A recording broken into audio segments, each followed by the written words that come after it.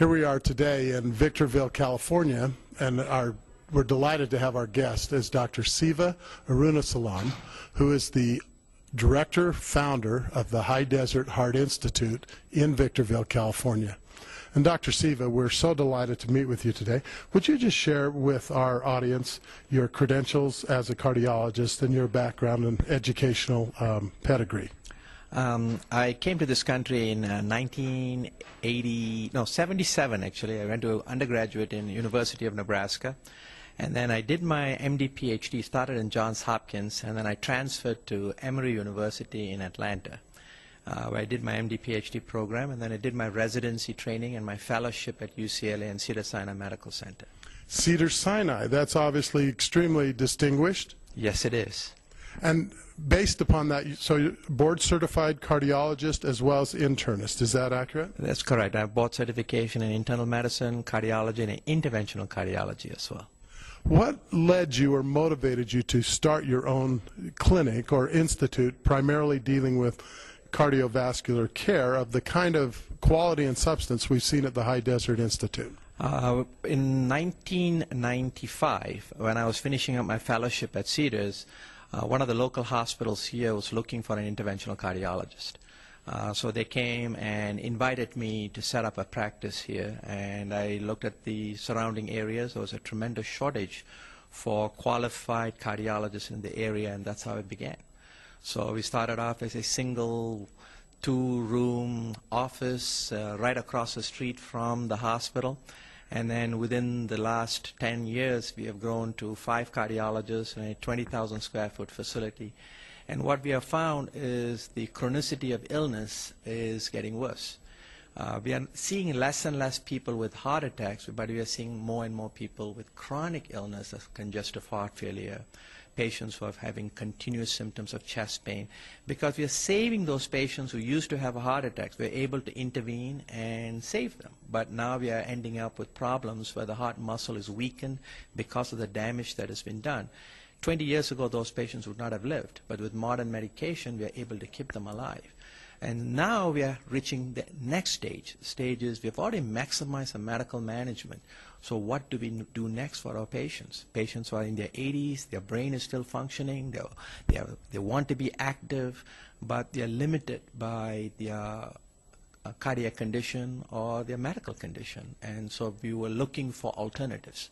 In 1999, when I was sitting for my interventional boards, at that time I was reading a, a bunch of articles, and I came across articles on L-arginine. And I said, wait a minute, this is a drug that converts into nitric oxide, and that is the drug that we give as sublingual nitroglycerin that also converts into nitric oxide. What a novel idea, where you do not have so-called tachyphylaxis or tolerance to the drug, but now we can give this nutritional supplement in very high quantities and, and high uh, uh, uh, frequency that will mimic nitroglycerin without all the side effects. And since 1999, we've been using L-arginine in our practice. It seems from my experience in the last couple of years that many cardiologists have not kept up with this kind of research. What what is your response to why there seems to be a lack of of cutting edge information on the arginine therapy that's available uh, among that, that of your profession? How many drug reps do you think comes to our office selling L-arginine? Nobody does because it is a generic product.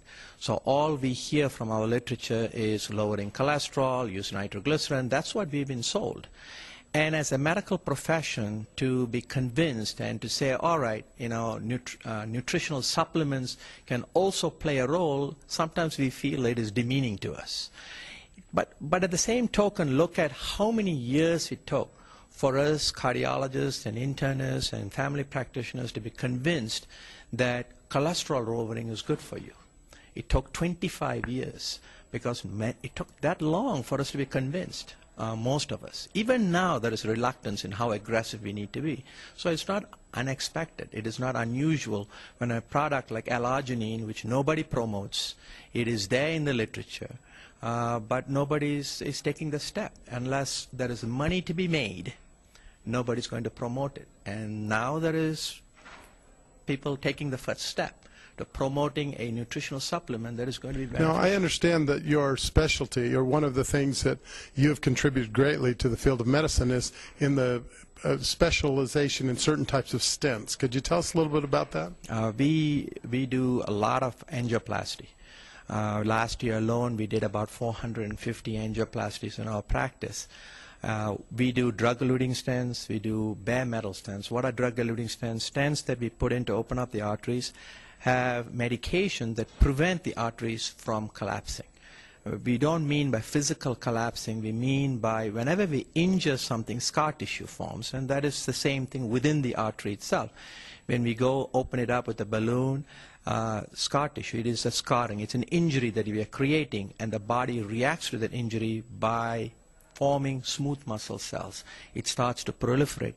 The newer stents have drugs in them that prevent that proliferation from taking When place. you started uh, putting the patients on your study with the ProArgi-9 Plus, what kinds of results did you anticipate, and what ended up happening after the 90 and 180 days that that gave you s- such a astonishing report? We actually expected everything to happen. Uh, that's the, one of the reasons why we did not have a dose curve. That means, you know, we, uh, in 1999 when I started using L-arginine, I was just using it whatever I pleased, the dosing we wanted to give. We did not give high enough doses. I knew what L-arginine will do. We knew it will lower the blood pressure. We knew what lower blood pressure means to our kidney function, to our heart function. So we knew what the product in high enough concentration can achieve. But some of the stuff that we noticed was remarkable. And in short time, not the time that we expected. Say, for example, if I were to give a patient uh, medication for high blood pressure, we will lower the blood pressure, but the results of lowering the blood pressure would take years to see. But this product, on the other hand, we saw lowering the blood pressure through this medication, other side effects, beneficial side effects that were immediate. Within uh, a month, we started seeing tremendous benefit, which was unexpected. Did you find that one of the things we hear often is that people should be concerned